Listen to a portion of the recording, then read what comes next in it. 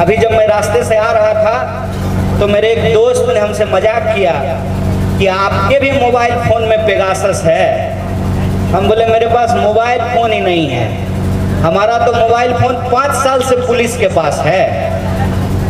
ये इस बात का जवाब नहीं दे रहे हैं कि ये इस देश के जज का, इस देश के पत्रकारों का, इस देश के सामाजिक कार्यकर्ताओं का विपक्ष के नेताओं का, छोड़ दीजिए विपक्ष के नेताओं का।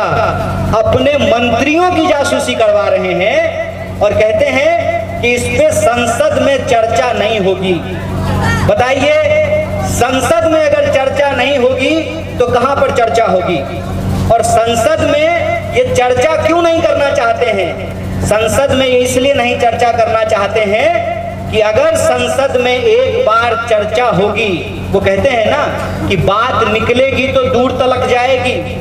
संसद में अगर एक बार चर्चा होगी तो इस बात की भी चर्चा होगी कि दो सौ रुपये लीटर सरसों तेल क्यों बिक रहा है।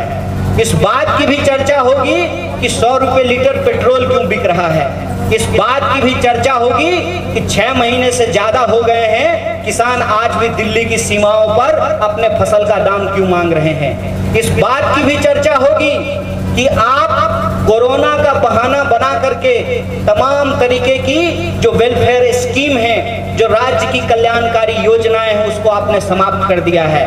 और सरकार अपनी जिम्मेवारियों से लगातार भाग रही है। आप मुझे एक बात बताइए सरकार ने कहा कि आपदा में अगर किसी की जान जाएगी तो चार लाख रुपया दिया जाएगा। आप कहते हैं कि देश में आपदा अधिनियम लागू है, क्योंकि कोरोना जो है वो एक आपदा है। तो कोरोना जब आपदा है तो कोरोना में मरने वाले लोगों को चार लाख रुपया मिलना चाहिए कि नहीं मिलना चाहिए?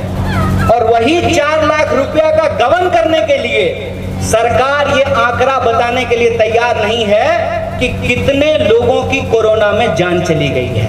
क्योंकि सरकार अगर बताएगी कि कोरोना में 500 लोगों की जान गई है बेगूसराय जिला से तो 500 लोगों को चार चार लाख रुपया मुआवजा देना पड़ेगा। इसीलिए सरकार ने सबसे पहला बेमानी ये किया कि जिन लोगों की मौत कोरोना में हुई, उनको कोरोना मौत गिनने के लिए तैयार नहीं है।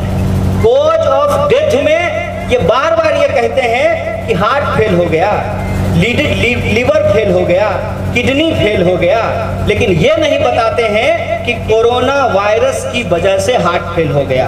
कोरोना वायरस की वजह से ऑर्गन फेलियर हो गया। क्योंकि अगर ऐसा कहेंगे तो उनको मुआवजे में चार चार लाख रुपया जनता को देना पड़ेगा। ये कहते हैं कि जनता को देने के लिए हमारे पास पैसा नहीं है। लेकिन साहेब के को उड़ने के लिए साढ़े आठ हज़ार करोड़ में हवाई जहाज़ खरीदने के लिए इनके पास पैसा है।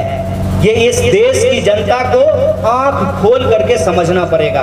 और इसीलिए जब भी हम किसी अपने साथी को याद करते हैं, जब हम उनको श्रद्धांजलि देते हैं तो हम इस बात का भी संकल्प लेते हैं कि हमारे चारों तरफ़ जो अराजकता फैली हुई है, इस अराजकता का सवाल हम सरकार से पूछेंगे और इसका जवाब हम सरकार से लेंगे।